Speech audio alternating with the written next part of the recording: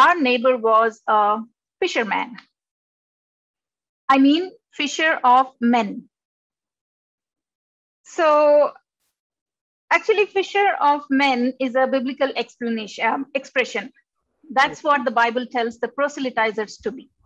And this is really serious. I mean, I, I may be sounding, um, you know, humorous, but this is really serious because Jesus allegedly says he will uh, make his followers into fishers of men.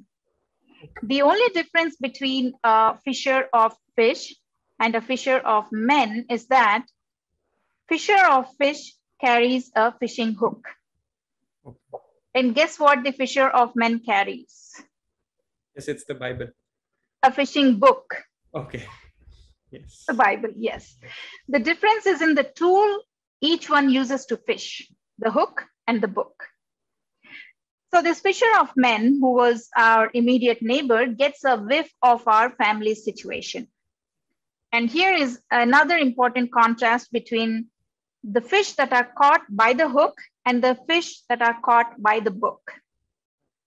The fish that are caught by the hook are made vulnerable after they are caught. Okay. But the fish that are caught by the book are made to feel vulnerable so they could be caught. See the difference? Yes. So one is the hooked fish and the other is the booked fish. That's how I'd like to call. So my family was booked by this fisher of men and then he caught us.